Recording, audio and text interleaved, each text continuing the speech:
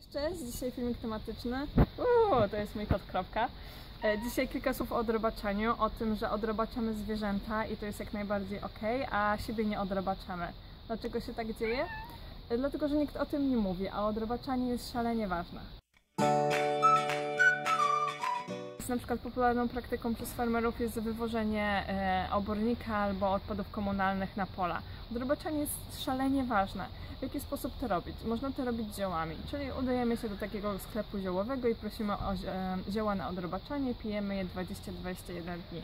Można to robić jeszcze skuteczniej, suplementacją, czyli to są sproszkowane, e, odliczone, wymierzone, wyekstrahowane zioła, które są dość silne. I tak się suplementujemy też około 20 dni. E, Niektórzy używają urządzeń, urządzeń elektrycznych. Ja tego rozwiązania nie polecam, dlatego że w organizmie tworzą się cysty.